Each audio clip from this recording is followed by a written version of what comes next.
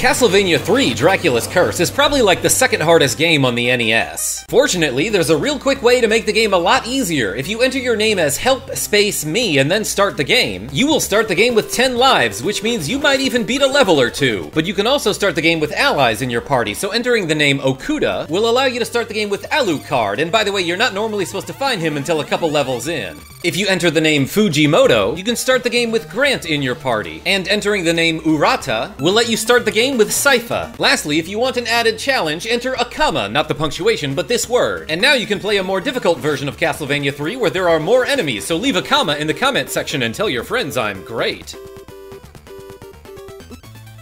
Bonus thing, on the title screen, hold down A and B and hit start and you can access the sound test, so like and subscribe and stuff.